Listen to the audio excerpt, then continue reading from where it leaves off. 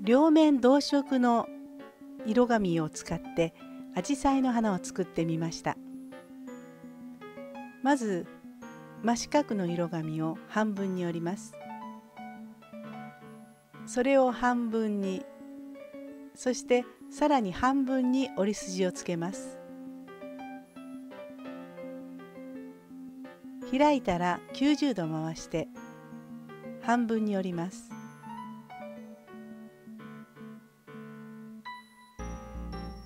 ホッチキスで折り筋をつけた部分を留めます。一つ飛ばして反対側も留め留めます。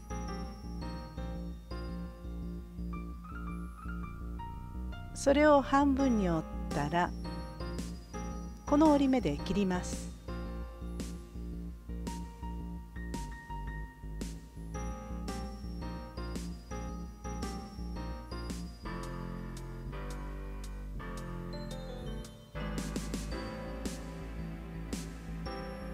そして先ほどと同じように折り目のところをホッチキスで留めます。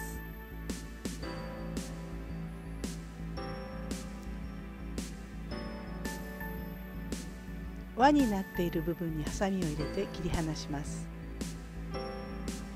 これをさらに半分に切ります。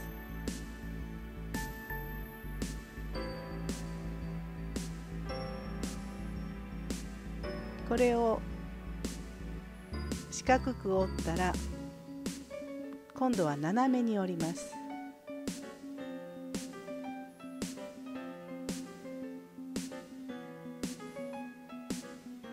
もう一度四角く折って真ん中から少し離れた部分からこのように切っていきます。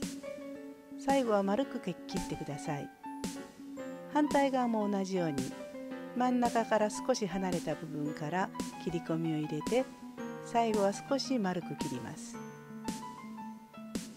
開くとこんな形になっています。今度90度方向を変えて折って同じように切ります。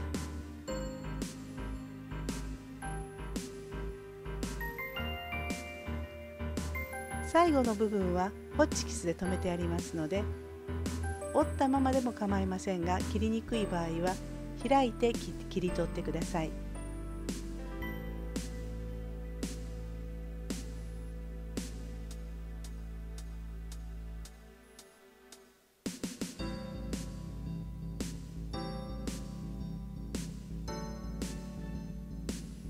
これでアジサイの花びら4枚分ができました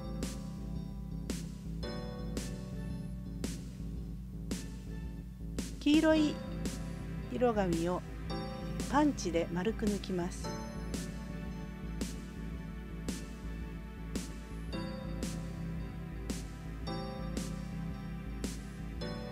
花びらがつながっている部分はハサミで切ってください。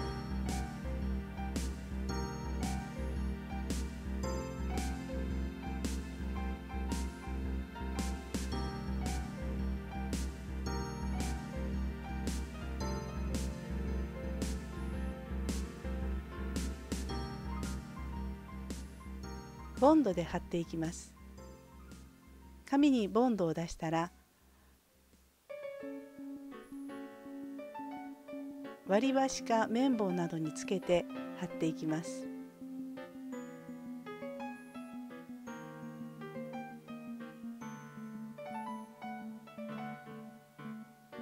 綿棒を使うとボンドの付けすぎが防げ防げますし細かい作業がしやすくなります。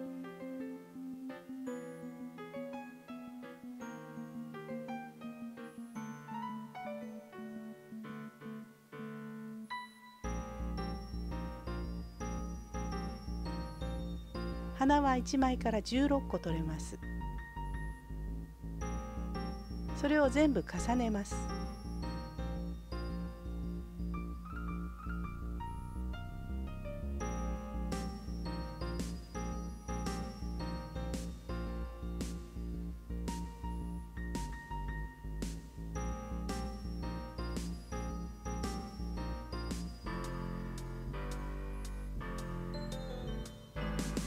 きれいに重ねたら花びらの部分にしっかりと折り目を入れます。つまんでこのような形にします。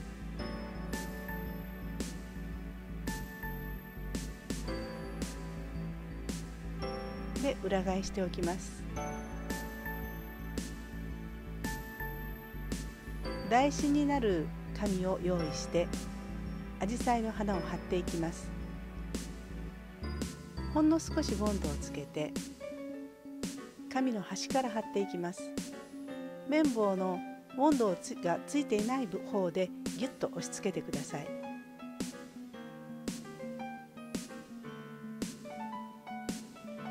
花の立体感を潰さないように気をつけながら貼っていきます。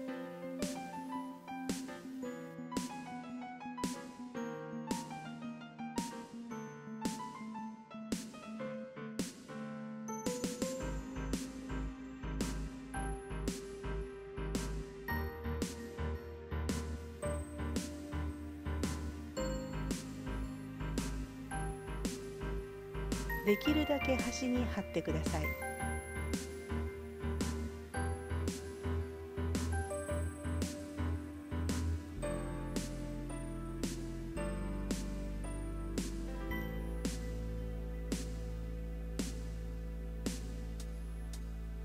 周り一周貼り終えたら今度は内側に貼っていきます。花と花が重なり合うように貼っていきます。しっかりと押さえつけてください。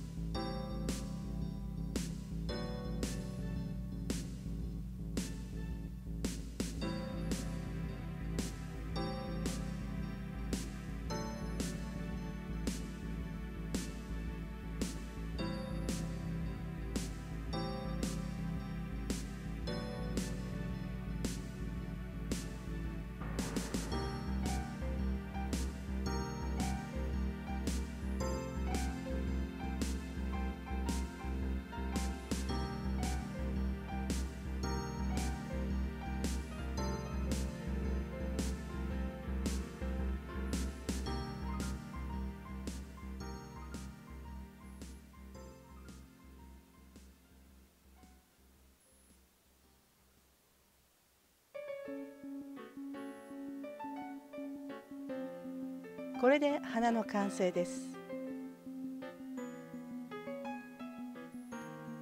今度は葉っぱを作ります。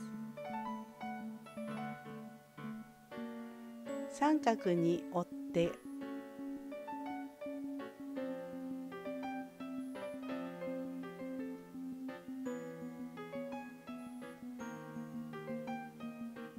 この部分を葉っぱ型に切り落とします。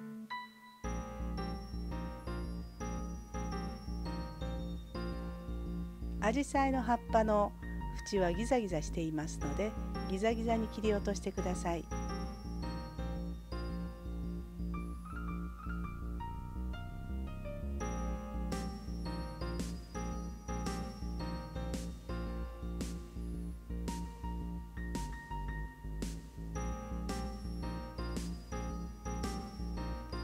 そしてこの折り目の部分を切り落とします。先から斜めに折っていきます。ここは少し分かりづらいところです。木の葉の作り方の動画もありますのでそちらを参考にしてみてください。折り方のわかる型紙付きです。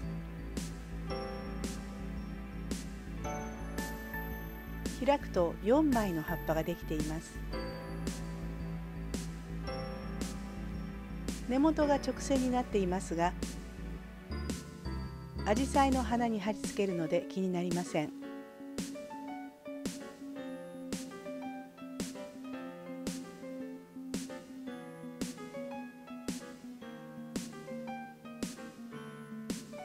ここにボンドをつけて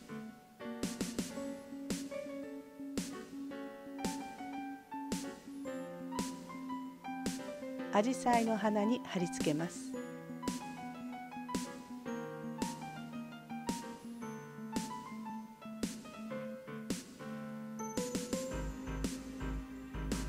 き上がりました。